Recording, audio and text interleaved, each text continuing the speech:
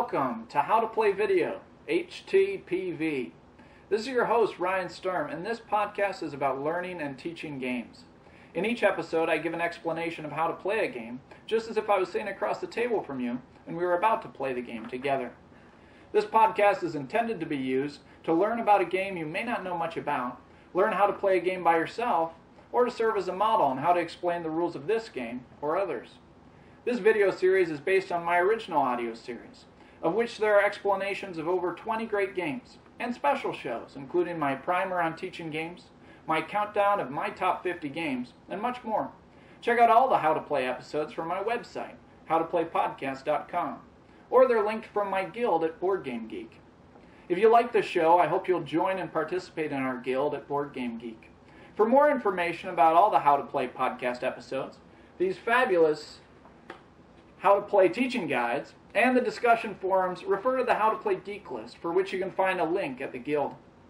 I can be contacted at the Guild on Board Game Geek or directly at my email address, howtoplaypodcast at msn.com. And I want to mention that adding video adds a lot more cost to the show, so I hope you'll consider making a PayPal donation at my website. And I need to say a big thank you to Randall Rasmussen for putting the video for this show together. Now, Let's get to today's episode. How to Play, episode 25. Hello, everyone. Thank you so much for tuning in. This is your host, Ryan Sturm, and today we're going to talk about Hansa Teutonica. I love Hansa Teutonica. The things I like about this is it's a very strategic game that plays in just about an hour. The game moves very quickly, there's very little downtime. Each player's turn might take 5 or 10 seconds but there's a lot of interaction between the players and a lot of different strategic paths for which to choose from. And there's hardly any luck in the game other than the actions of your opponents. So it's a very good competitive, strategic, and interactive game. This game may not be for everybody. If you're a person who really needs a theme to enjoy a game, an immersive theme, that's not what you're going to get out of this game.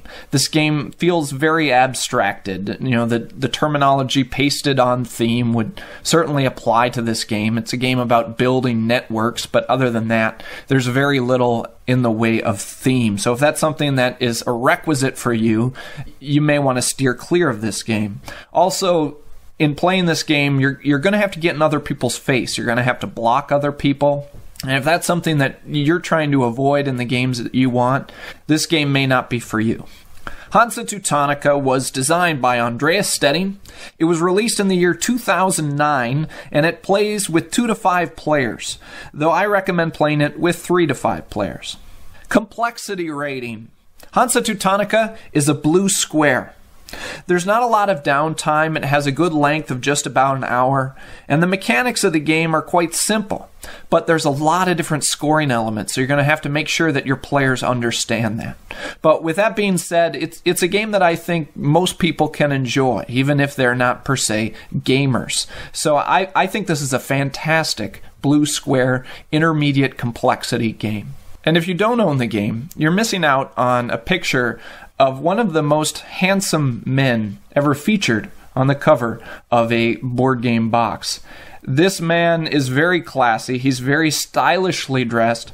He has excellent golden perm like hair and exquisite facial hair. And he just happens to be here with me. So I'd like to welcome my co host for this episode, Wolfgang. Hallo, my name is Wolfgang. Ja, Und mein Schnurrbart ist sehr schön. Schnurrbart? Uh, Wolfgang, what's a Schnurrbart? Mein Schnurrbart. Uh, Wolfgang is stroking his mustache. Yes, he he does have a very fine Schnurrbart, indeed. All right, Wolfgang, are you ready? Ja. Well then, let's get to the hook. Der Haken. Yes, der Haken. Let's get to der Haken.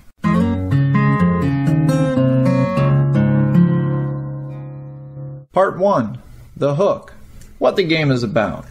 Welcome to Hansa Teutonica. In this game, you are the leader of a merchant guild in Germany with beautiful curly golden locks and excellent facial hair. Mein Schnurrbart. Yes, your Schnurrbart.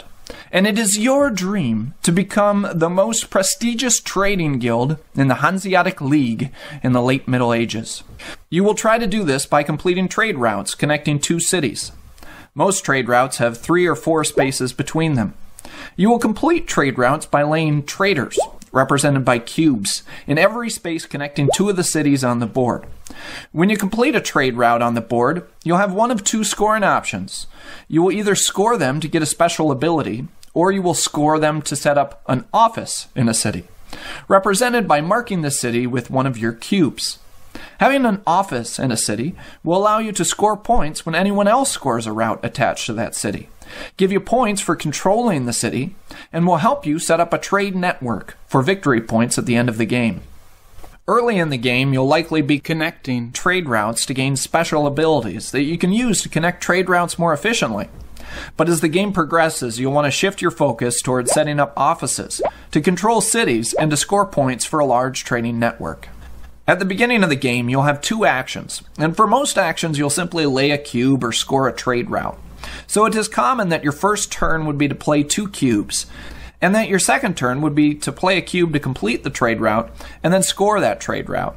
The game progresses in this way with players taking actions, mostly by playing cubes onto the board and scoring routes. As players score routes, they will develop their abilities and then try to set up to score the most points at the end of the game. At the end of the game, points are scored for many categories, but some of the largest chunks are for controlling cities, the size of your network of adjacent offices, and for development of your abilities. No points, however, are awarded for the quality of your facial hair. Keine Punkt für meinen Schnurrbart? No. No points for your mustache. The player with the most points will be the most prestigious guild in the Hanseatic League and be the winner of the game.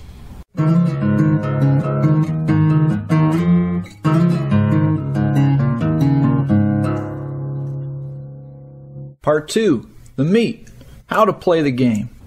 Okay, so you know the basic idea. You're connecting these routes in order to get special abilities and to score points.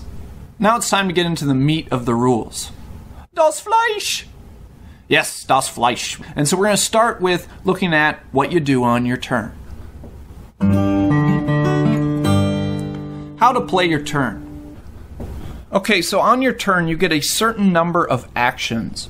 At the beginning of the game, this number is 2, but one of the special abilities is to increase this amount of actions. But you'll start with just 2. There are really 5 different things that you can do with each action. There are 2 which you're going to do more often, and 3 which you'll do less often. The 2 which you do more often I'll call major actions, and those are playing a cube and scoring a route. When you play a cube, you are trying to get all the cubes on a route, which can be between 2 and 4 spaces. And when you want to add a cube, you can add it anywhere you want on the board. You also have cylinders, which are like your cubes, but they have some special abilities, which we'll talk about in a minute. And this is what you're going to do for a lot of your actions, and probably your first turn will be just to put down two cubes, trying to fill up a route. The second choice for an action is to score a route that you have completed this counts as an action. So, as I said in my example in the hook, very common first two turns would be to play two cubes in your first turn, to play a third cube to finish a route, and then to use your last action of the second turn to score that route. When you score the route, you have to make a choice.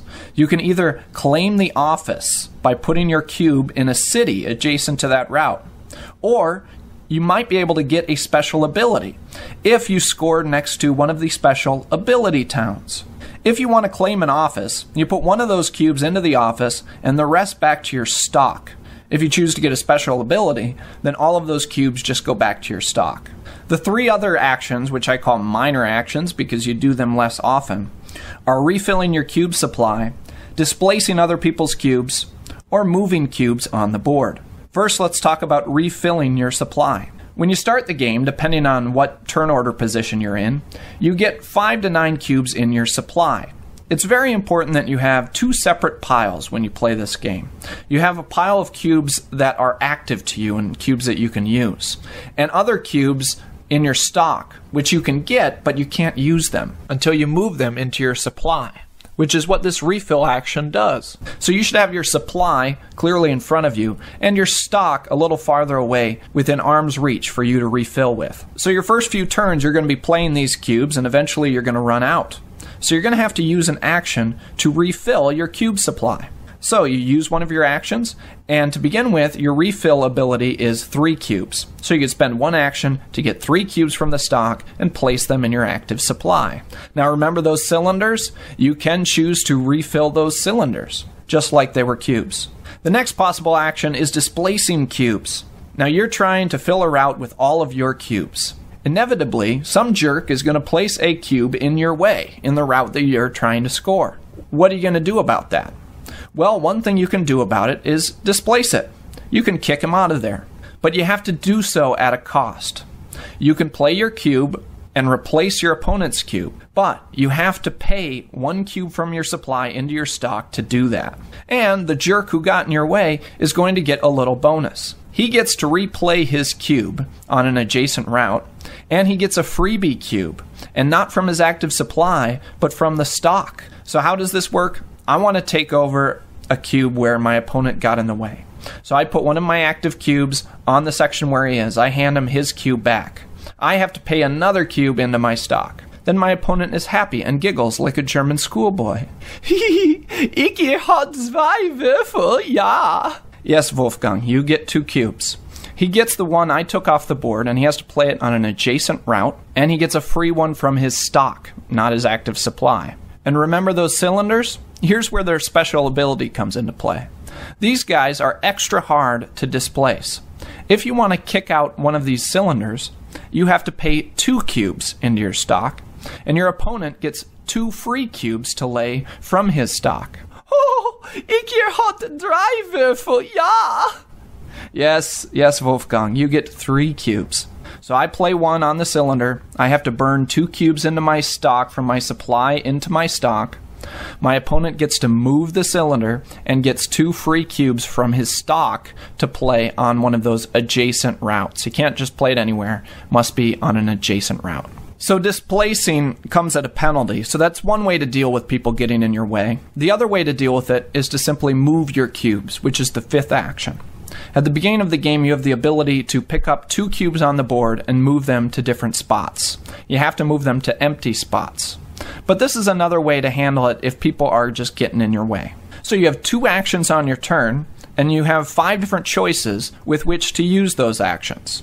Mainly, you're going to play cubes or you're going to score routes. But you can also refill your supply, displace an opponent's cube at a cost, or move a couple of your cubes on the board. So the first few turns, you'll probably be laying a few cubes, then maybe scoring a route, and then you may run out of cubes, so you'll have to refill, play some more cubes. Maybe you'll have opponent get in your way, so you have to displace it, and then you'll have a route full, so you can score that route, and the game continues in this way.